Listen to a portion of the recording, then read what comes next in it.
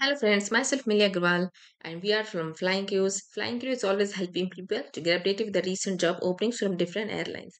And today's opening in Spirit Airline as a guest service leader. Apart from this, if you wish to build your career as HR, then we are for you. We have different courses and internship programs in aviation, international HR manager. For more information, you can contact me. So let's start the video. So in Spirit Airline, as a guest service leader, you have to assign activities and duties to guest service agents to ensure completion of tasks for check-in, compliance, arrival, and departure.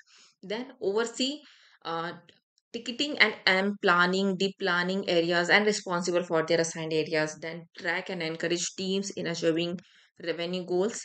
You have to oversee uh, departments immigrations, CPB, uh, any center, BSO centers as needed.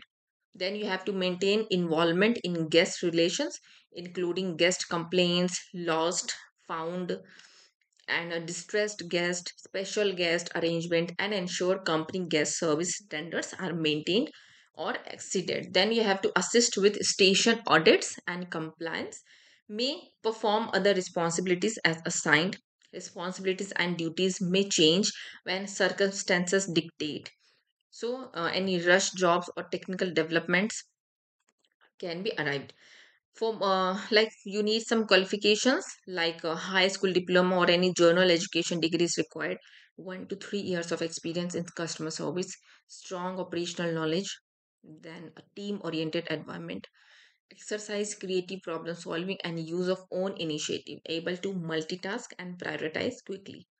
Okay, so uh, we they offer a competitive salary and comprehensive benefits to their team members, including medical, dental, and life insurance, paid time off, travel benefits, and much more. So, if you wish to join Spirit Airline as a guest service leader, this is for you. So, go to the career page of Spirit Airline and apply. And for more information, please subscribe Flying Crew. Thank you.